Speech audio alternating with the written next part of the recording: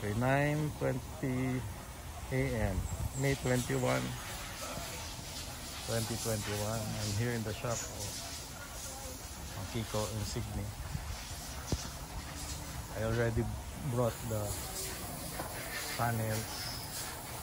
The glass windows are inside that tubo. So this the two fenders left and right and then the two doors left and right then everything else will be repaired. So the tailgate is okay rear bumper is okay under chassis is okay. Right rear. Fender quarter panel there's big area here that needs to be bumped out. Right rear door the glass is okay some portion that can still be bumped out. And but we have ah, ano we don't have this door so we'll just bump that out. We just repair that. So this is the interior.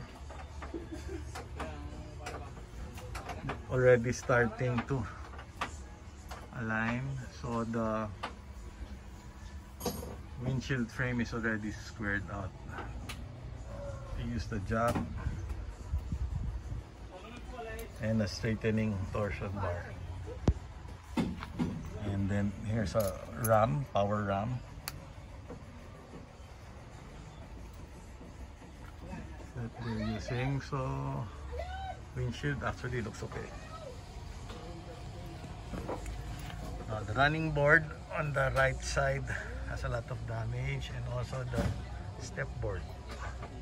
So that one needs to be replaced. In the meantime, we'll just straighten it. So we can reinstall and then we'll just replace it later on. This one has, this portion of the running board has heavy damage. So it needs to be pulled out, straightened and then welded back on.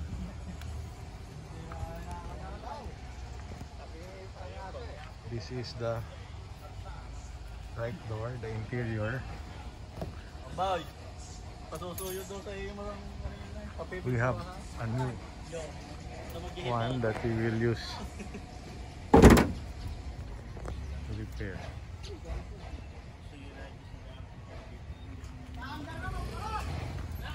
On the right front fender is really short. This is now the spare wheel, spare tire, but the other one that was installed during the accident is flat, but seems it can be vulcanized.